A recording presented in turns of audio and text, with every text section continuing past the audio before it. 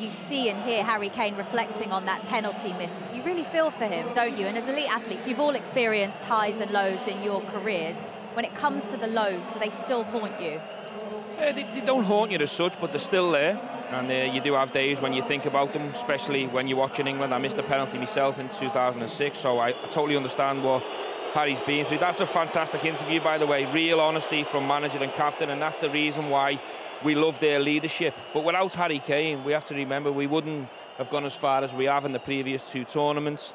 Uh, we wouldn't change our number nine for anyone in the world. And um, he's the one who takes responsibility, steps forward, and you can see at the back end of the interview, he can't wait to bounce back, and I'm sure he will. Let's hope it's tonight. The lights have gone out, by the way, because we're about to experience what we've been told is going to be a spectacular light show. We look forward to that. And just going back to what we were saying then, Jill, even though it is a team sport, when you have those individual errors in a game, do you feel responsible? Yeah, you do. I remember 2017 quarter final against France. We hadn't beaten them in 44 years, and I knew I was on a yellow card. Um, first minute of the game I get another yellow and I know I'm going to miss a semi-final and it's really hard because you feel like you can't contribute in any way or help in any way but I think as Steven says it's about that bounce back ability and I hope Harry Kane breaks this record tonight because that'll be bounce back ability at its finest. Yeah, I mean, you know, trying to be a professional footballer, you know, you, are going for the glory, you're going for the moments, and your career will be littered with moments. We've all had them where things go wrong, and they and Stevie's right that they do sometimes. They're not there in your everyday life, but you're at the pillow once a night. You think of a chance you missed or something that's happened, and it, it's, it's the price you pay for doing this great job that we get. You get the highs and you get the lows. But that interview was fa fantastic, and, and with Harry, what I saw there was the determination to have a, a massive moment in England's shirt that completely forgets all of their other moments. England now have an all-time leading goal scorer, a new one in Harry Kane with 54 goals. What a moment for him incredible moment. You know, ironic it coming in in the form of a penalty, but he deserves that. You could see in the pre-match interview he was so determined to make up for that penalty miss in the summer. Uh, sorry, in the winter. Yeah. Uh, but his all-round play has been fantastic. You know, he stands alone now on top of that chart. You know, the, the names that are underneath him: Wayne Rooney, Bobby Charlton unbelievable names. He's fan fantastic for him. What a moment. You could see from the way his teammates celebrated with him as well how special it was. Yeah, well, they've lived through it with him. Um, it's an incredible penalty, the precise. He loves taking the side netting off. He's one of the best penalty takers in the world.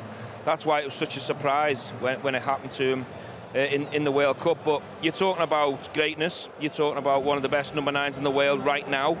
And um, that's the reason why every transfer window he's he's ahead in terms of all the talks because, you know, maybe it is time. Maybe it is time for them to move on. Well, Harry, an eventful night for England, but for you, huge congratulations. You've now done it. England's all-time record outright goal scorer. Just what does that mean to you?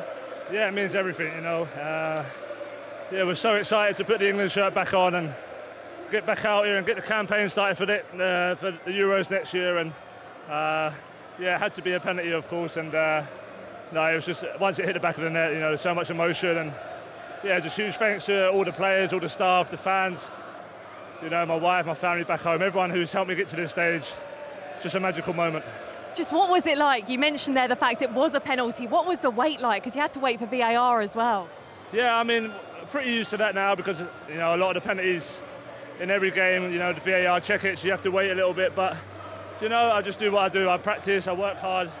Uh, worked hard in training yesterday, picked my spot, and thankfully. Uh, yeah, put it away. So, uh, and just a great night, you know. To uh, we haven't won in Italy for so long, and yeah, to score and win this game is just special.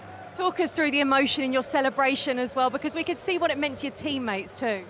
Yeah, no, everyone, you know. Uh, the World Cup was obviously a, a, difficult way to end. It was tough to to finish in that way, but you know, we spoke this week, uh, getting back to it. You know, we feel like we're one of the best teams in Europe, and we have to just keep knocking on the door. We're we're getting close, but you know, coming here and putting a performance like that today just shows we're ready for the next challenge. And uh, yeah, we've got a difficult campaign ahead, but hopefully we can uh, get ready for, for next year.